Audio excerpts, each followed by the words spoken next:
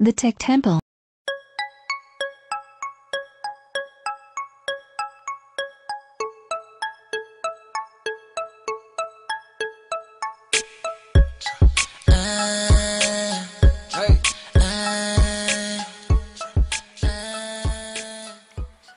Alright, so here we are again. This is Wise Man White. I know you guys might be thinking, man, this dude changes his wallpapers and his clock all the time. But yeah, you know what? I can do it, and I will do it, so I do. Alright, so uh, I am running the Google Wallet version as I showed you before. Um, I'm going to show you right here. Google Wallet, and it does work. It's not just the icon. It does work. I'm not going to show you my pen. okay, so let me show you how to uh, get that on there. So first of all, take a look at this real quick uh, snapshots, uh, the screencast to show you where you're going to get them from XDA. So go ahead check that out real quick.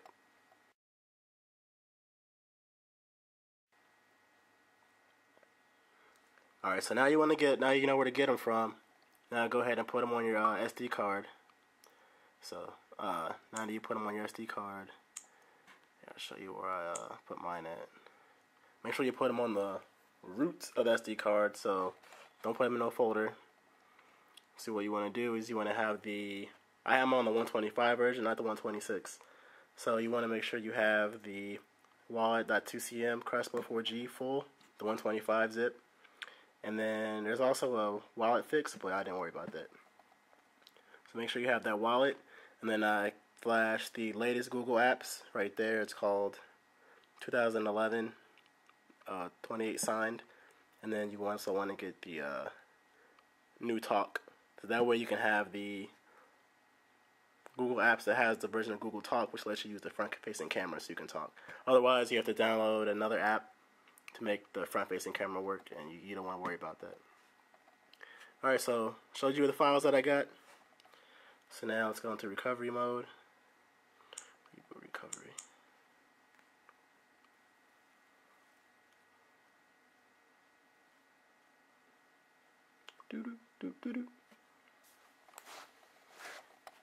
And what this is going to do is going to make you, uh, I know before I just showed you how to do it with the normal version. So you'd have the stock, and you had wallet, and you had to switch back between stock, and switch back between CyanogenMod 7. After a while, no, that got boring.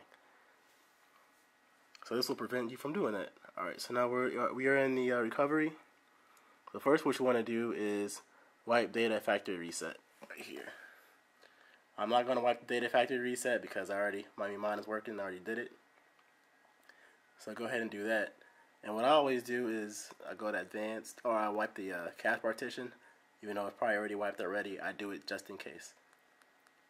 Then you want to go to advanced and go to wipe Dalvik cache.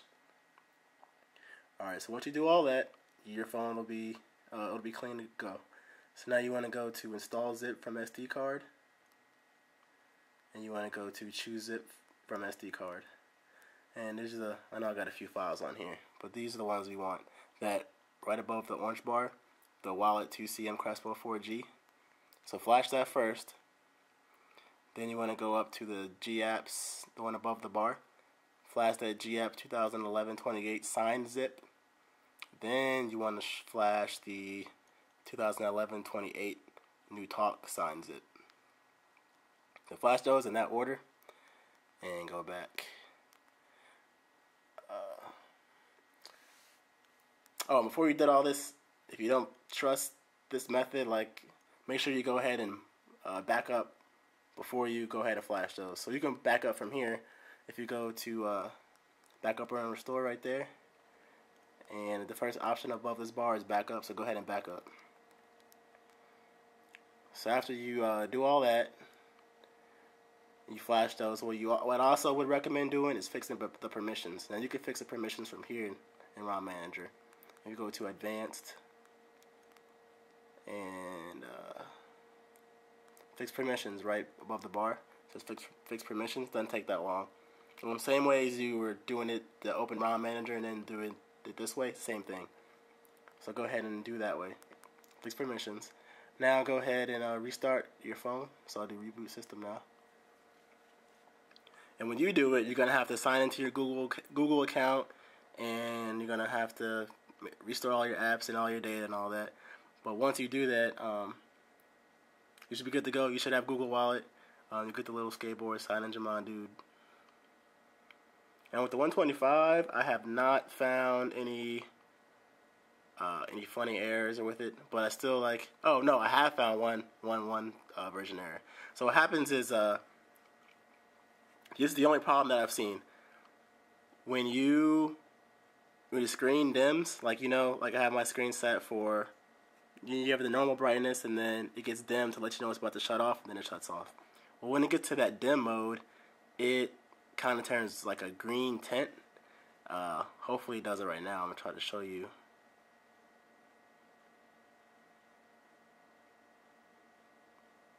If it does a green tint thing.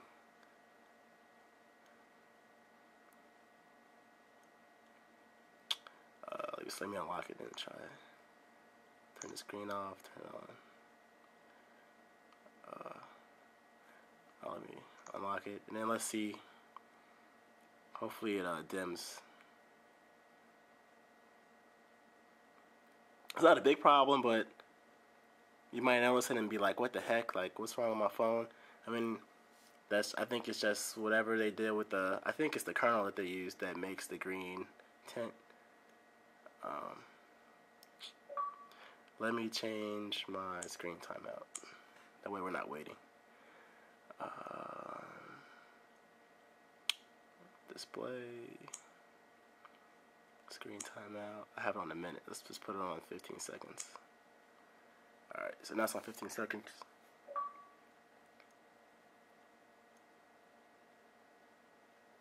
And there you go. You see it's kind of green.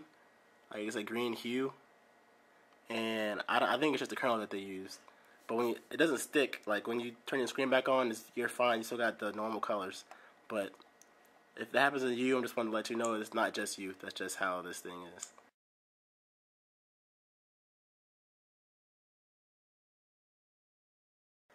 But that's the only error I've, the only glitch I've seen. All right, show you one more thing. So you should have Google Wallet now. And I'm going to show you a few of the things that I've seen since I got this new version of CyanogenMod. But as you, as you already know, uh, you've seen and noticed this, the lock screen is different. So you can just slide that and it'll unlock your phone. Uh, you just slide this over here, the volume turns off. The volume goes, it goes vibrate, then it goes silent, and then the song sounds back on. You can set this icon any custom thing, so I as the camera, so you slide this up. Ah, Oh no, sorry, the middle one you slide to the icon in the middle. So once you do that, I have mine going to the camera. So now I have my camera on fireplace. All right. So yeah, I noticed that. And what's also nice, uh, so we all know the Nexus has 4G. What are we missing besides the ability to zoom with the camera? We're missing notification light, no LED. But let me show you something. Let me uh, send myself a text message real quick.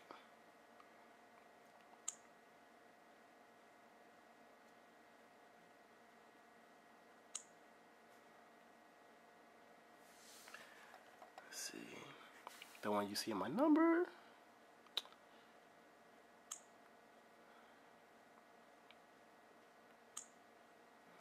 So I just sent myself a message. See the screen is off. It works with all notifications. Work with you get a a tweet or you get new mail, you get a IM, a Google Chat IM, you get a new text, um, probably like Kik Messenger if you use that. Any notification, this thing should work. All right, there's my text. Finally. All right, so you see that?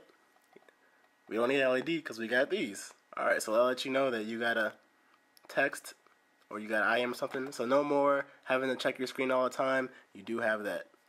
So Those are the two major things that I found in this build: the lock screen and notification, which is pretty big in itself. So there's a proof to you right there. That's my text message, and the sun's out. All right, so that's the Google Wallet version for the CyanogenMod 7. I'll post a link in the show notes in the bottom of the video. Just click the right there. It should be two arrows to say show more or see more. Click that you got any comments or questions, let me know. Uh, I'll answer them pretty quick. Thanks again for your support. I appreciate you guys. Without it, I would not be doing what I do. So, all right. Uh, see you guys later. This is Wise Man White, the Tech Temple. Peace. Notifications. Not to push that thing on me if you know I want it. Uh, uh, gonna get you in trouble.